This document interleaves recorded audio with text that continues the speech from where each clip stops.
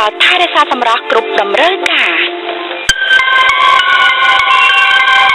អេពូម៉ាប់តាណានឹងទៅទៅទៅទៅទៅទៅទៅទៅមិនបានប្រពន្ធគាត់ពាក់មួយសុវត្ថិភាពចឹងចិត្តចិត្តចិត្តចិត្តចិត្តចិត្តនេះនឹងអាចិត្តនឹងហើយបានយើងស្លាប់ហើយអ្នកវិញមិនស្រឡាញ់គ្រួសារខ្លួនទេអីមិន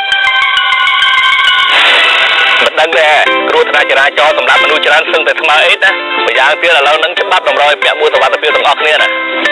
ការពារជីវិតអ្នករួមដំណើរតាមម៉ូតូត្រូវតែឲ្យពួកគេពាក់មួកសុវត្ថិភាព